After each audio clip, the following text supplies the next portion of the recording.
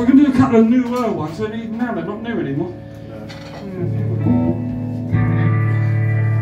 Uh, first one is called Pleased to Meet You, and it goes out to a, a couple of people that have uh, been influenced on, a, on our musical taste over the space of time, and then they drop off and fucking die, don't they? You're like, oh, thanks for that. But thanks for the music.